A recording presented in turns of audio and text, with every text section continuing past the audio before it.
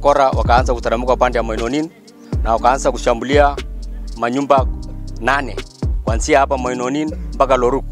Sadi ya nyumba nane imerediwa, manyumba zingine hawakuwa na mbuzi. Sasa hao mbuzi wakapeleka kuelekeza pande ile. Hiyo vita ilianza saa, saa mbili kamili, saa mbili saa mbili na nusu wakaanza kupiga sisi, hata mimi ni mkaaji hapo, walitushambulia wakaanza kupeleka ng'ombe ya mzee Joana, mbuzi ya mzee Joana hako hapo pasta na kuelekeza huko chini. Kufika katikati hapo eh, sasa KDF wakafika wakapikana na KDF maskari, askari wakajaribu kurudisha mbuzi wengine, mbuzi wengi wakaenda. Hao wakora ni zaidi ya mia moja ndio walikuja jana, walikuwa zaidi ya mia moja. Hao walipika askari mpaka askari hata wengine wakatoroka na mbuzi ikaelekea pande ile. Eh, vile vile vile vile vile vile ng'ombe mbuzi ilichukuliwa, kuna mama amepikwa risasi tumbo, upande ya tumbo hapa, ikapita mkongo hapa ikaenda juu, alafu KDF ikapikwa tena tumbo ikatokezea, ni kama amekuwa seriously injured e, ndio wakawekwa kari ikaelekea pande ya Nairobi. E, tulikuwa na hawa KDF tukaeleza tuka, tuka, tuka ndio mbuzi hawa ndio wakajaribu kusaidia. Rais mwenyewe angefanya hii kazi iwe rahisi kama ingeisha kitambo. Rais anatuambia mrudi nyumbani na vile watu wetu wameumia. Haswa hiyo mama kama angeambiwa arudi Loruk, angepigwa risasi. Huyo mama aliambiwa rudi nyumbani kutoka hapa IDB kama Inonini. Akaambia rudi nyumbani huko. Watu wangaratuko kwa rudi wako shule Chepkwai, Ngaratuko Primary School. Lakini saa hii imekuwa tishio. Rais yako Amerika anataka kupeleka askari yetu waende Haiti. Na hapa Haiti ingine iko hapa Baringo. Kwa nini yeye mwenyewe asitoe hiyo ndege, asitoe askari akuja amalize bandits? Wadeclare kama iwe disaster. Hii kitu imekuwa disaster. Watu wanapikwa, saa ile imenyamaza, watu wanaambiwa rudi, alafu wanaanza kushambulia watu.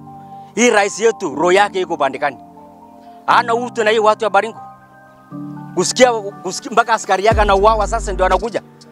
Rais mwenyewe ameamua kutuma ndege leo, ndio akajaribu kuvamia hao mbuzi. Sijui kama itarudi ama watapeleka, lakini mbeleni watu wote tumeshika watu zaidi ya mia tatu. Leo KDF moja amepikwa, rais mwenyewe akatuma ndege na hii watu hawezi tambua hii watu mia tatu wamekufa, mpaka anatambua mtu mmoja ambaye ameuliwa askari yake. Tunashangaa sisi, hata wengine hatuna mbuzi, watu wetu saa hizi wameumia, wengine hata wako msituni hawajarudi nyumbani, na imekuwa masikitiko sana.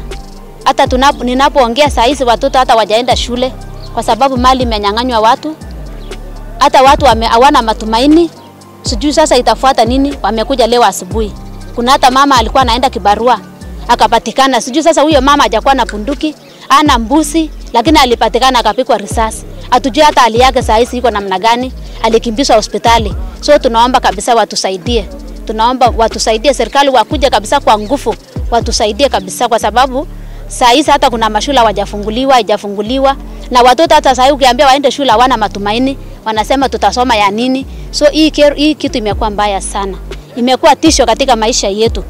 Tunaomba rais wetu mpendwa as, as, asikie kilio chetu, hasa kama sisi wakazi wa Baringo tumekuwa tukilia sana, tumekuwa tukimwaka machozi, na tunaamini ya kwamba Mungu atakusa yeye abadilishe wale wangeenda Haiti wakuje watuokolee. hiyo mbusi alivamia mbuzi kwanza, alianzia na boma ya ndugu yangu mkubwa, ndio akateremka yangu, ndio akafungia mama nyumba na watoto walitoroka. Mpaka saa hizi sijapata watoto tatu, bado wako msituni, sijapata. Nikajaribu kufuata mbuzi eh, nikasitikana, sija- sijapata hiyo mbuzi, na saidi hata ya ward admin alikuja kuchukuliwa hapa tena ingine, so hiyo boma ni mingi eh, wachangili ilikuwa ni wengi. So but eh, tuna tunashindwa serikali. Kuanzia jana tulisikia hiyo wajambazi aliingia mpaka saa hii mpaka akafanya vitendo kama hii. Na hajachukua hatua yoyote.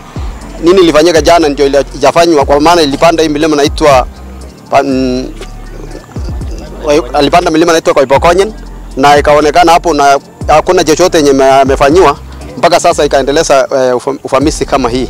So ndiposa so nikaona narudi kutafuta watoto sababu watoto hakuna na mbusi imeenda nashughulika sasa hii utapata watoto tatu. So na, nauliza serikali maisha ya watu nataka ikae namna gani? Watu eneo ya Saimosoi nataka yaani serikali nafurahia ak- ak- akwishe yote na wengine waishi ama nini? wanafunzi wetu wengi hawako shuleni kule, vile hakuna shule tena, walimu na wazazi wa- wameovia.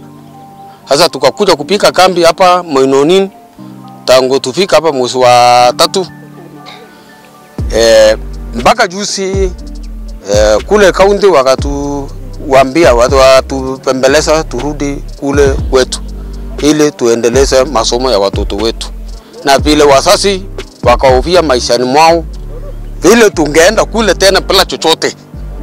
Shule umevamiwa, maji hakuna.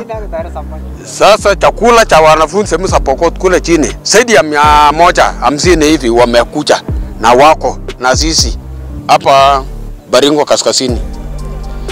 Eh, kutoka tukaishi na hofu mpaka leo asubuhi dakika ya sasa, kuna wasasi wenye hawajui hata ma, eh, wanafunzi wetu wengi hawako shuleni kule, vile hakuna shule tena, walimu na wazazi wameovia. Sasa tukakuja kupika kambi hapa Moinonin tangu tufika hapa mwezi wa tatu.